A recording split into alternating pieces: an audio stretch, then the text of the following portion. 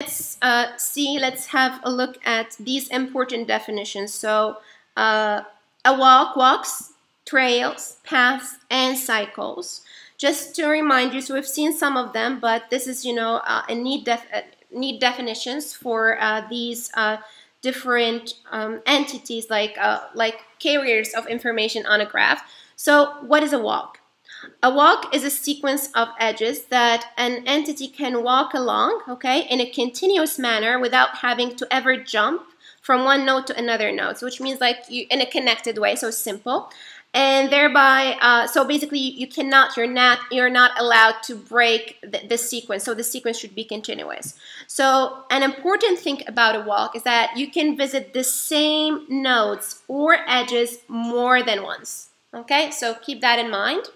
Now, for a trail, a trail is a walk where all edges are unique. So you cannot visit the same edge twice when you have a trail, okay? So you can visit a node twice, okay? But not an edge. So this is the definition of a trail. Now, a path is a trail in which all edges and nodes are unique, okay? So here it means that it's a special trail where you uh, your, the nodes also are visited only once. Now, a cycle is, we can look at it as a closed walk because for in a walk you can visit nodes and edges multiple times. So it's a closed walk where first and last nodes are the same. So basically, uh, a cycle, uh, we can also say a cycle can be embedded within a larger walk. So if you have a walk, a walk can have multiple cycles. Okay. Now, if we look at this, what is the relationship that we have here? So what is the relationship that we have here? So we have paths, trails, and walks. If you want to say which one belongs to which one, how can we, uh, what is, uh, how can we put this? So basically, paths is a subset of trails, and trails subset of walks, and cycles also subset of uh, walks, okay?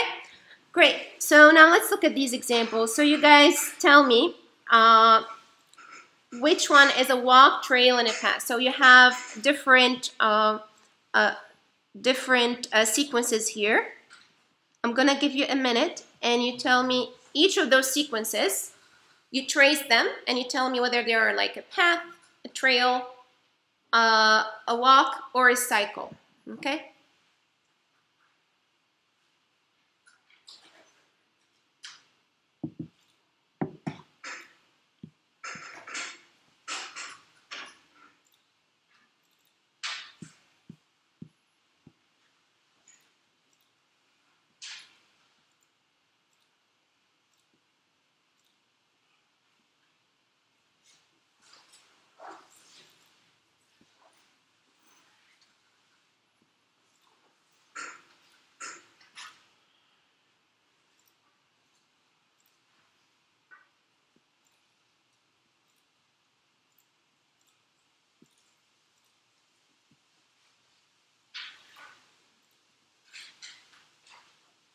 Okay, so the first one is?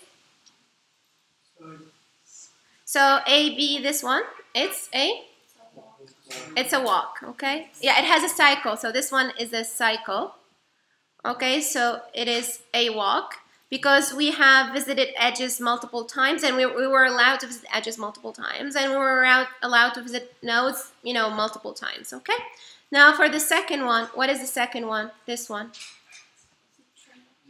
it is a trail. So a trail, uh, we can visit um, edges only once, but we are allowed to visit nodes twice. And here you guys can see that we visited node B twice, okay? So right here and right there, okay? Now, what about the last one? It's quite easy. So this is actually a path, okay? Each is visited only once.